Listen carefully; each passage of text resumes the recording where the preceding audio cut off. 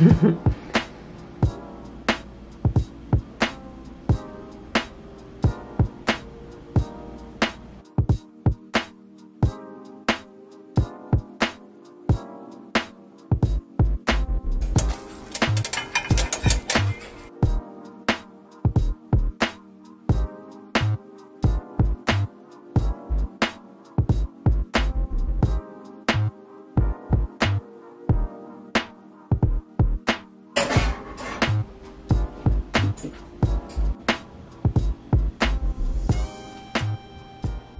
Hello everyone. I am hopefully starting what will be a reading vlog. I realize that I actually haven't done an official reading vlog since October, but I have a few clips filmed sporadically throughout like the past few weeks.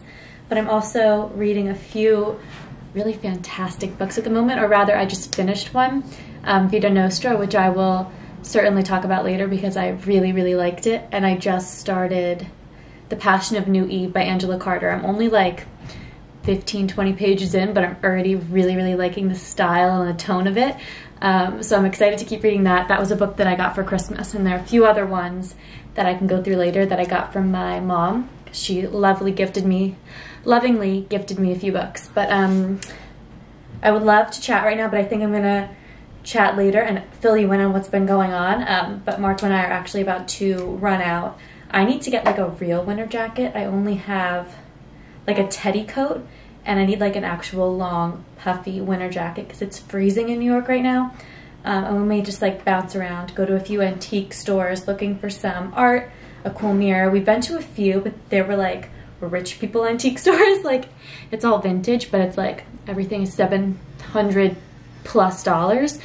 So those were not um, for us. So we're going to a few places, maybe in Brooklyn, we're not really sure, but it's a Saturday and it was our first full week back at work, five day week since the holidays. So we are feeling rested now and relaxing and trying to enjoy our time because it definitely hits you like a truck when you first start back at work. Um, but I will check in with you later. I need to get a coat because I'm freezing to death. Um, yes, I will check in later. Bye.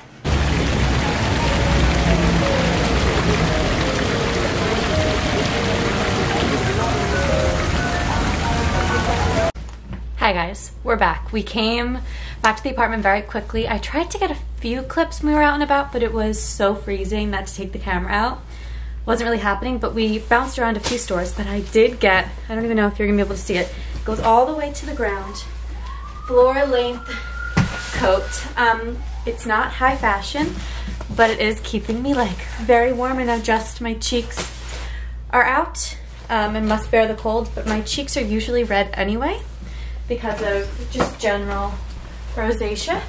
So this is a good purchase and it was 60% off. So my grandma would be proud. Now we are going into the depths of Brooklyn to go to a few breweries. It's Marco's night to pick what we're doing. Last night we went to a wine bar, so it's his turn. But it should be fun. I'm gonna bundle up and we are going to get going. Oops, okay, bye.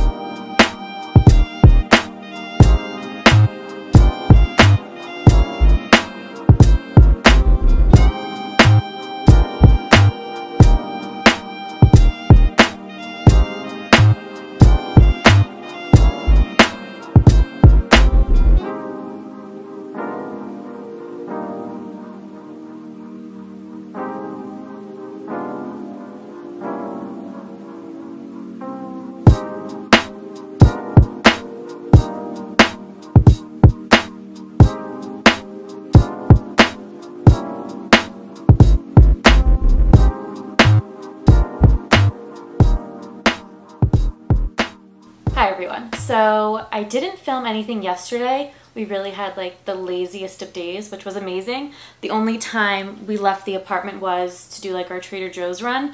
Um, actually, we did run out again at night. It was snowing, like just flurries, and it was beautiful. And in the city, you have to run out while it's currently snowing because you know it becomes sludge and gray very quickly. So we ran out after dinner and got some ice cream from Target. Um, oh yeah, and we made such a good dinner.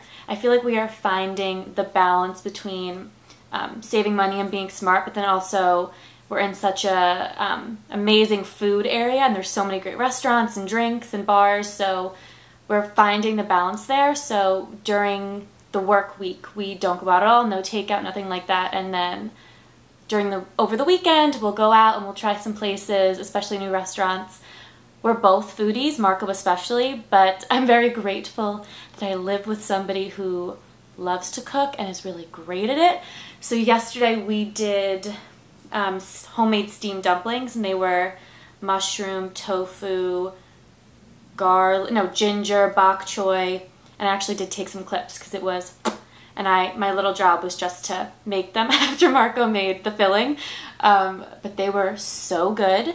So that's kind of our balance, but I will insert some clips.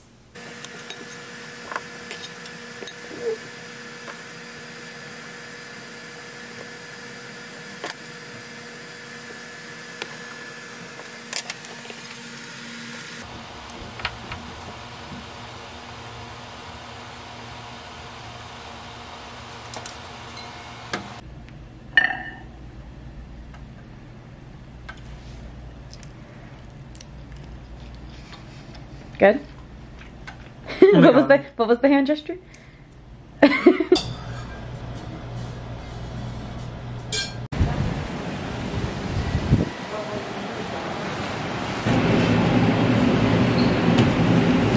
but as we're exploring new areas and new food places, Marco and I, more specifically Marco, he's really taking charge of it.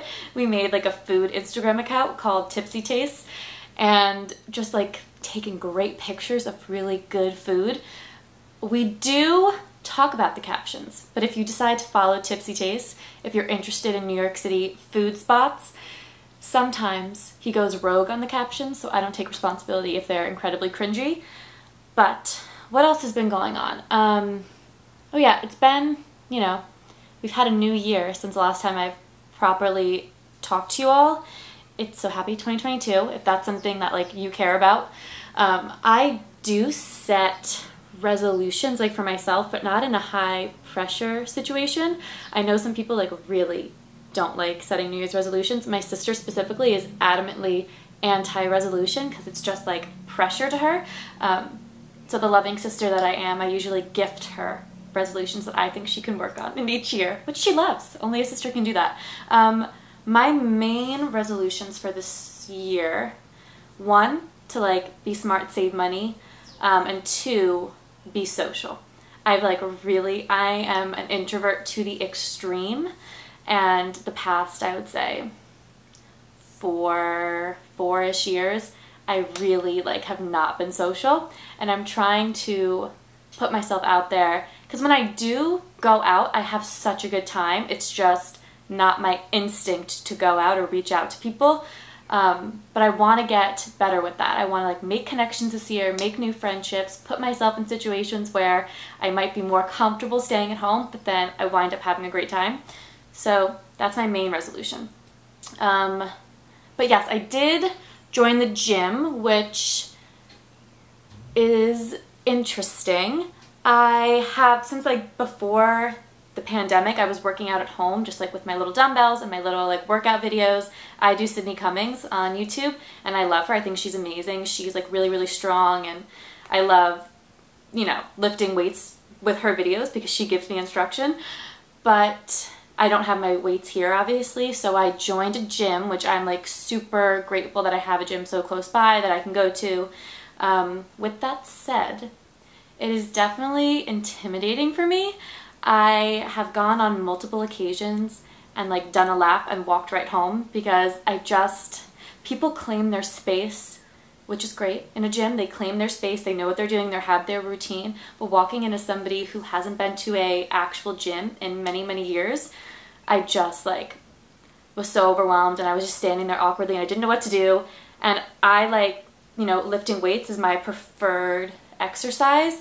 And majority of the time it's all men in the weight area, unmasked men. None of them, I would say 95% of them do not wear a mask, no matter what. Even though people like upstairs like sweating and like um, panting really heavily on cardio machines, you know, they're wearing masks. But so that's frustrating. And I just, but the past few times I've stood my ground.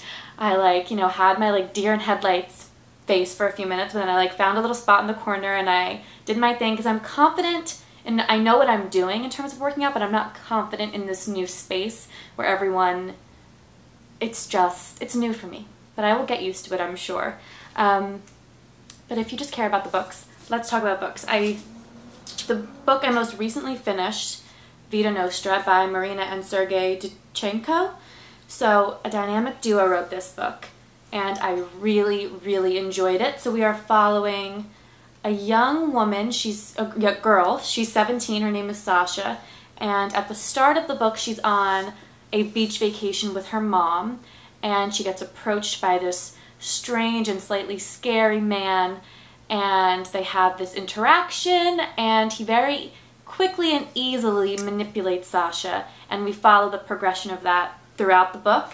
And she winds up going to a university where the weirdness and manipulation intensifies times a hundred and she's not really sure what she's doing there, why she's there, what the point of it is. She doesn't understand her classes or why her professors are so um, interested in her.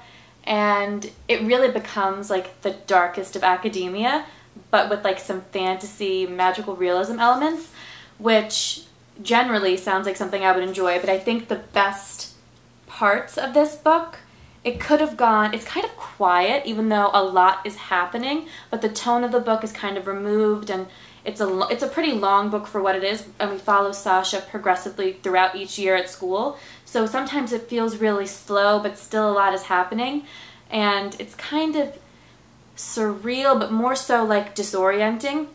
We're disoriented with Sasha, which is just a really fun way to read the book. And because it's so long and sometimes quiet and slow, we're kind of sinking into Sasha's world with her and kind of like succumbing to the same manipulations that she might. But I really enjoyed it, and at so many points this book could have taken you know 10 plus different paths and gone a different direction. And i enjoyed every single twist and where it went. And i didn't always get what was happening but if you um, are familiar with my channel that doesn't usually bother me as long as i'm enjoying it i don't always need to get it um, but there was enough to like grasp onto, and it was definitely like plot and character development and the whole thing. So I really enjoyed this one. Um, and then the book, so I'm also reading um, The Passion of New Eve by Angela Carter, which happens to be one of the greatest covers I've ever seen. Definitely a favorite. Um, and I am yesterday I read a lot. I'm over 100 pages in now and it's quite a slim book. I'm not quite sure how to speak about it yet. I am loving it beyond measure. Like seriously, it is blowing my mind. It's jam-packed with ideas in such a small, like tightly wound book. It has so many things going on, really exploring American society in the, this dystopian, again, surrealist kind of way. Um, it's exploring gender and identity. It's amazing, but I'm not quite sure how to speak about it yet, so I will get back to you on this one. But it's one of the best written novels I've come across in a long time. So what a way to start the new year. I am obsessed with it. Um, so this was one of the books I got for Christmas. I said I would go through them. Um, I also, my mom also gave me I Love You But I've Chosen Darkness by Claire Vaye Watkins, which was my first read of the year. I read this one on CJ's recommendation. It was on CJ's top 10 of the year, and I really enjoyed it. We're following um, a woman, she's a writer and a teacher and a mother, and she's reckoning with her past and her parents and the legacy they left her. Um, her mother suffered from addiction her whole childhood, and her father was a part of the Manson family, and he his job is to like corral young women and bring them into the fold. And she's reckoning between like her memory, she's almost having like memory whiplash, returning to the place where she grew up um, in the desert, and she's trying to find the middle ground of her parents as people versus her parents as caregivers. Um, but it's lusty and traumatic and hot, and I really enjoyed it. There's a lot to unpack in this book, but I can talk about it more in my wrap up. And then the other book the last book that I got for Christmas that I haven't read yet, but that I'm very excited to read, is the next Tana French in the Dublin Murder Squad series, uh, Faithful Faithful Place. So I, you know, I'm not familiar what this is about, but you know, I started Tana French's Dublin Murder Squad series last year and really, really liked the first two books in the series, which I wasn't sure how I was going to feel about in the woods, and I was absolutely obsessed with it, and I really enjoyed the second book too. So, very excited about this. But that's all I have for you today. I think I'm going to go to a coffee shop to use somebody else's heat and sit there for a few hours and edit this and hopefully upload it today. Um, and I have some errands to do. Unfortunately, I don't have any apartment updates for you guys. You saw that we got um, some plants and some greenery, and then we have some like new bins, like organizational things that nobody cares about, um, just to make our closets a little more organized, but in terms of decor, we've made no progress. We've been to a lot of different places. I've looked online. I've looked on like Society6 and Etsy, but it's hard when I don't know specifically. Like I know what I like when I see it, but I don't always know what to search on Etsy, especially like a platform like that that has so many different options um, from different creators and sellers. So I'm not sure if you have any recommendations where you have ordered art before or I'm I think I would like some prints, but I really love the idea of having like paintings in the um, apartment, and I think we might blow up some of our travel pictures. I actually made a little. Um, I am somebody who grew up scrapbooking and making photo albums, and I made I printed all our pictures from our Germany trip and put them in this little album. Um, but we might blow up some of the more scenic ones and have them as art because that's easy and that's nice memories in some um, a few of our other trips. But I'm not sure. I'm looking for some paintings. So if you have any recommendations that would be very appreciated. But yeah we've made no progress. It's kind of you know once you're in the place and you know we're back to work and we're in our day-to-day -day routine I'm not necessarily thinking about it. But then on the weekends I'm like I wish I had some color in the apartment. So if you have recommendations I am all ears but yes, thank you for watching. I hope to do more vlogs this year, more reading vlogs, or just more like chatty sit-down videos about recent reads. Um, but I hope you enjoyed your new year, your holiday season, whatever that looked like this year. I hope you were able to be with friends and, or family. Um, yeah. But thanks for watching, and let me know if you have any resolutions, bookish or other, and I will see you in my next video, hopefully, which should be my December wrap-up. I don't know if I, I mean, I want to film that because it will bother me if I don't have a full year completed. um, but yes, thank you so much for watching, and I will see you soon in my next video. Bye, guys.